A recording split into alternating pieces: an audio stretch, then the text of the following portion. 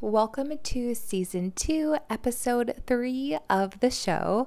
I'm so glad to get to hang out with you today. And if you haven't heard, though I'm sure you have by now and maybe a few times, this episode is also available on YouTube, so it can really feel like we're hanging out. The link to this video version of the episode is in this podcast notes just in case you're joining me in your ear today and want to join me via vid. Well, today's topic is inclusion and diversity in our friend groups and circles of influence, and how love for others and intentional understanding of those who are other than us helps drown out hatred when our world feels like it's drowning in it at times. Creating space for others in our world starts with creating space in our own hearts and friend groups and circles of influence for others who are other than us in order to positively influence our world. I will say this is a heavier episode than I normally do. They're usually very lighthearted and fun, but I thought this was so important I still hope you'll join me for all of it, but if you need a lighthearted episode afterward for a palate cleanser, episodes one and two were pretty fun, in my opinion. Now, this was not the original topic for episode three, but it was placed on my heart a few weeks ago. And after what just happened in Buffalo and the tragedy, my heart broke and it had to be the topic. So, with that in mind, I hope you'll join me with an open mind and especially an open heart today. Deal? Now, we know we have to be a good friend in order to have good friends and form those connections with others. But what type of people are you connecting with? Is my question today. When you think about the important people in your life, are there more you're willing to welcome into your circle? into your personal space, into your life? Well, personal space was kind of a weird question, especially with COVID, so maybe that wasn't phrased in the best way. Anyway, when you think about your friends and examine your personal growth and the love our world has in it, I truly believe they're all connected it's true that it's common to hear that we should hang out with people who are like we want to be, who are smarter than us, who help level us up, and who truly feel like home. All those are great things, but what about the look and feel of your friendship circle? What I'm asking truly is this Is everyone a clone of each other? Not in a weird way, but do you have friends from different backgrounds? of different races and ethnicities, of different faiths than yourself, are they a different age than you are? Is their sexuality or gender identity different from yours? Are they able differently from yourself? Is their education different than yours? And do they have different experiences than you? And do they see the world in a way that is different than you do? If you want to know how to open your eyes, it's through the eyes of others.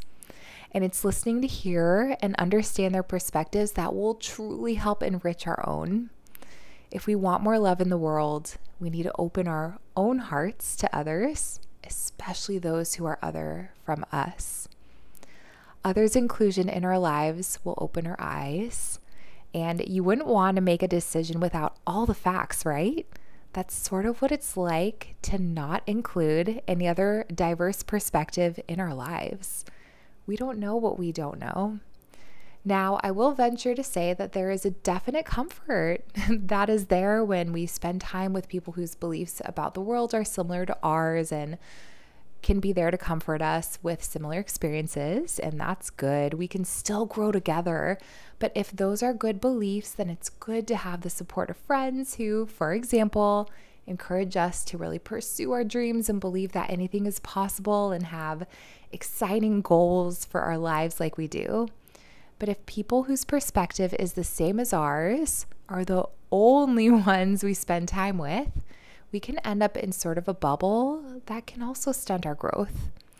Now, one of my best friends and I went to college together. Fun. Our school was faith based and they had a very strict stance on a lot of things. Some of those things I agree with to this day, and others I actually don't agree with any longer. This friend and I are still so close because we were able to, after we left the bubble, that was that school, gain perspective on the world through others we interacted with and through new experiences outside of that school and its rules. And we're able to develop our own beliefs about some of those topics that don't align with what we were taught. Sometimes that applies to what we were taught growing up, too.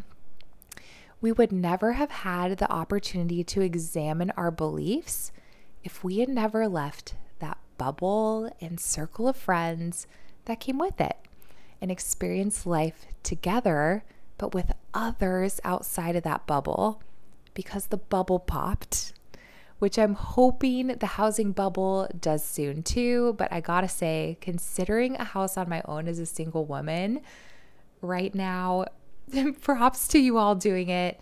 But you know, not there yet personally, but so supportive of those of you who are, and good for you. So, how do we do this well? One is we can look at how to examine your circle right now. Another is we can find friends who are outside our normal circle of influence currently. And another is how we open our minds to include others well and genuinely open our hearts and arms to them too. Okay, so let's start with the examination of our current state because how do we grow and move forward if we don't know where we're starting? All right, think of the five people you spend the most time with right now. It's been said that you become a combination of the five people you spend the most time with. So we really should be choosing very wisely. Sometimes there are things we can't get around, like if you're in high school and living with siblings, or maybe you have a coworker you're around constantly, or any number of things. But for those you choose to be in your life, who are those five people you spend the most time around by choice? Now, when you hang out with those people, are they lifting you up or bringing you down? First of all, if they're bringing you down, we need to reevaluate anyway because someone bringing us down will shut us down. So there cannot be much we can learn from someone if we're shut down, right? Okay. So now consider those people's beliefs, those five people's beliefs. Are they the same as yours about the world? About politics? There are some real passions behind politics, let me tell you, and probably sports teams. I've been hearing a lot of that lately. What about pursuing your dreams? Are you on the same page? What about how you all look? Is it the same? Be honest with yourself. What about your backgrounds? Are they similar? Again, there are pros and cons to having others around us who are just like us.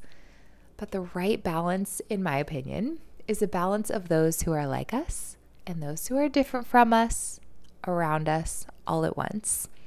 And often they can be the same people. Maybe they have a different faith background, but they have the same political views as you. Maybe they don't look like you or sound like you, but they believe in going after your dreams like you do. Maybe their sexuality is different than yours, but they'll cheer on the Cowboys or, for me, the Dallas Cowboys cheerleaders with you. We'll all have things to bond over, and if you keep asking what people enjoy, there's bound to be something you both like somewhere. Like puppies. Everyone likes puppies, right? No? What? Who are you? Just kidding.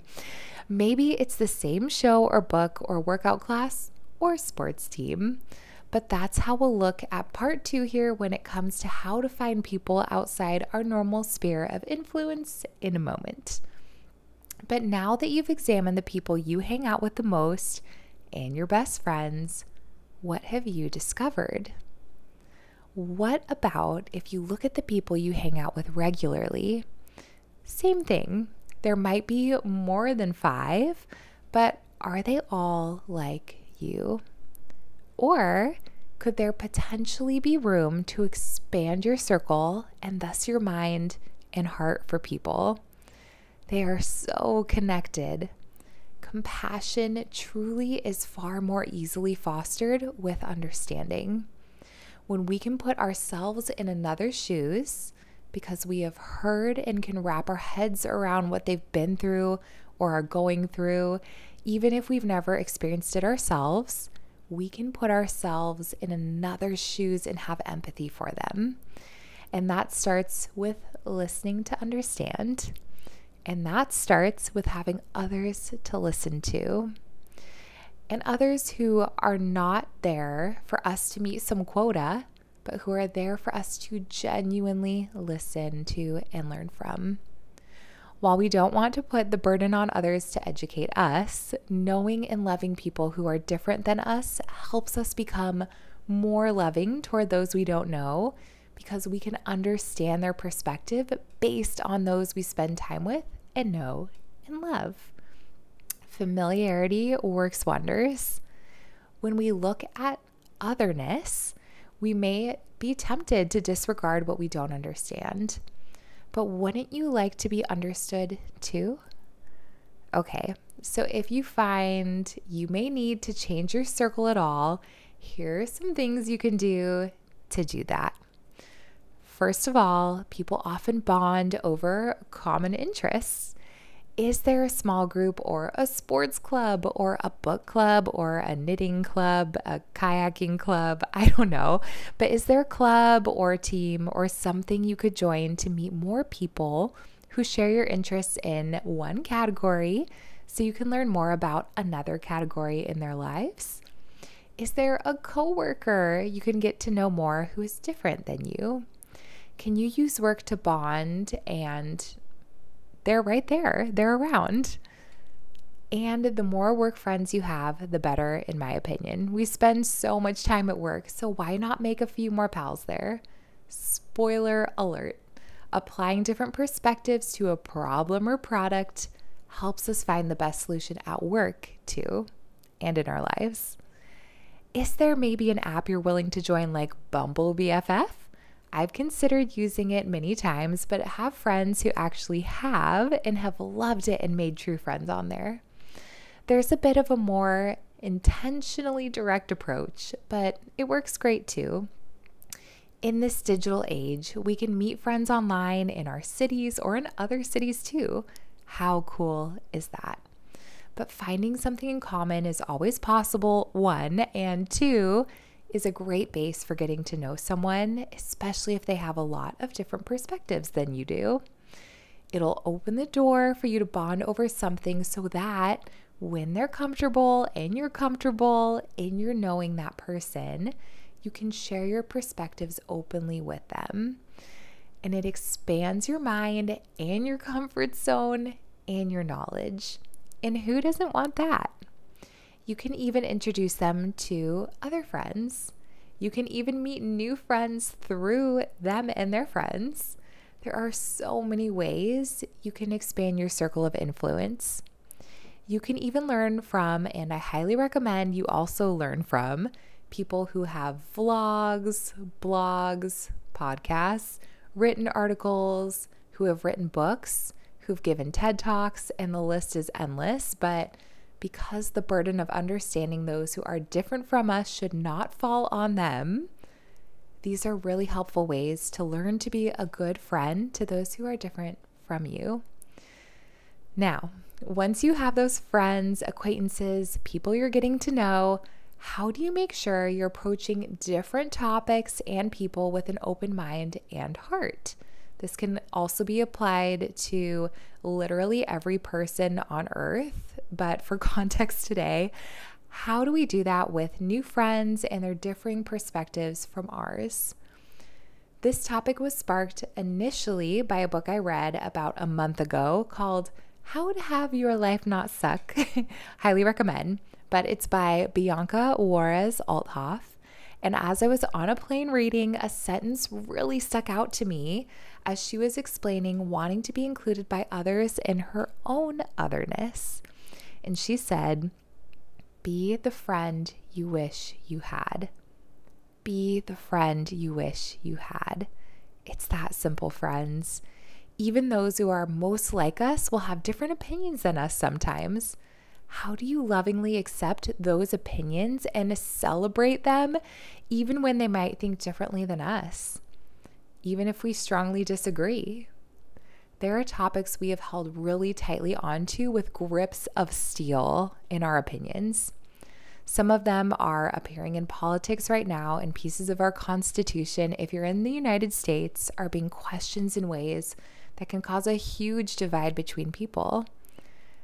How do we see the person behind the opinion, even when we're really passionate? How do we love others?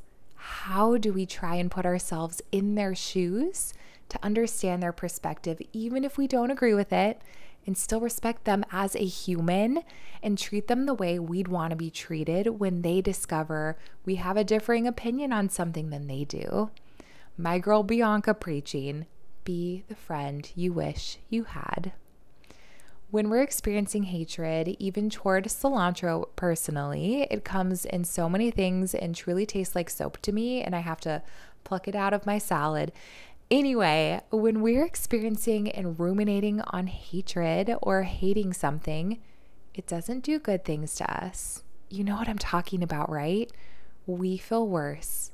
When we ruminate, our state becomes irate. And you actually thought we were getting through an episode without a weird rhyme. I could never disappoint like that. But hatred doesn't feel good in our bodies, in our minds, in our souls. When we are ruminating on something we hate, it changes our mood for the worse. We start to feel uneasy in our bodies and unregulated, and it does something to our soul inside of us and really causes a ripple effect that makes us behave in a way we don't love. Responding to otherness with hatred isn't good for anybody. It's not good for the person at the receiving end, and it's not good for us at the giving end nobody wins. In fact, everybody loses. But what if we approached otherness with curiosity?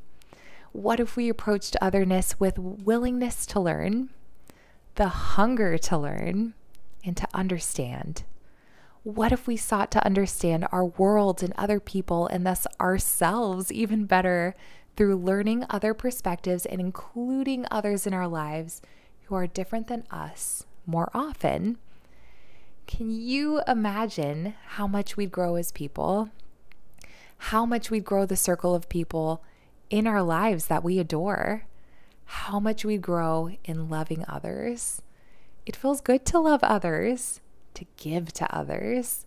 We can give our ears. And when we give our ears, we receive so much so much knowledge, so much understanding, so much compassion, so much life, so much connection, so much we didn't know before. It's been said that it's better to give than to receive. But when we give our ears to others who are other than us, we receive so much. So, friends, what are you going to do to learn more about others who are other from you and thus learn so much more about yourself and the world and the amazing, diverse world of people we are blessed to have on this earth. How boring would it be if we were all clones? Everyone would have a cat and need to deep clean their bathroom. If it were clones of me, yeah. Let yourself be the one who starts the positive ripple effect of inclusion and loving others because it's the only thing that's going to counteract the ripple effect of hatred of others. If you still aren't convinced, Martin Luther King Jr., I've decided to stick with love. Hate is too great a burden to bear. Any hatred we have within ourselves toward others hurts the other person, but it also hurts us. But if we love others and turn confusion into curiosity and misunderstanding into listening to understand and disagreements into a willingness to learn from a different perspective, we can create a voice for those who don't always get one. And wow, what a better world we'll enjoy when we get to hear what others have to say because you never know what thing you didn't know that might just change your life for the better. Bianca, be the friend you wish you had. Love others in the way you wish you were loved. Hate is not the answer. Listen to others in the way you wish others listened to you.